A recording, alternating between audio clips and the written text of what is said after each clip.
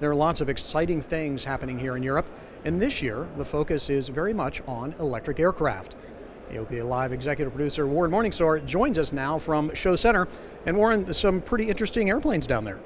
Well, guten Tag, Tom. And boy, there sure are, and probably none more exciting than this electric Extra 330 behind me. You know, they say that it will be able to fly a full, unlimited aerobatic program on battery power alone.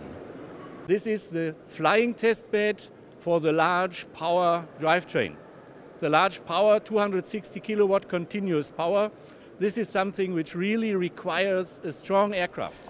If a company as big as Siemens gets into electric aircraft motors, there must be a future there.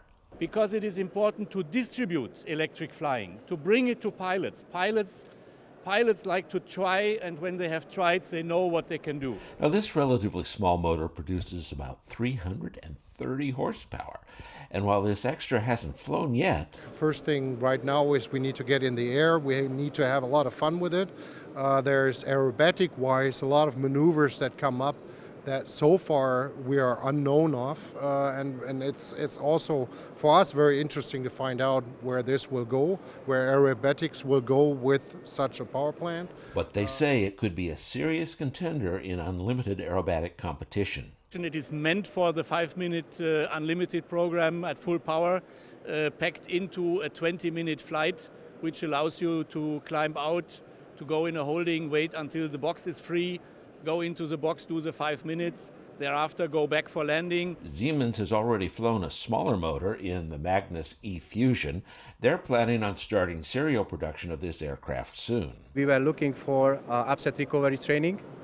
Uh, this uh, is a main target actually for uh, Magnus aircraft. But Siemens says the real future of electric aircraft is hybrid power, and that's a project they're working on with the Slovenian manufacturer Pipistrel.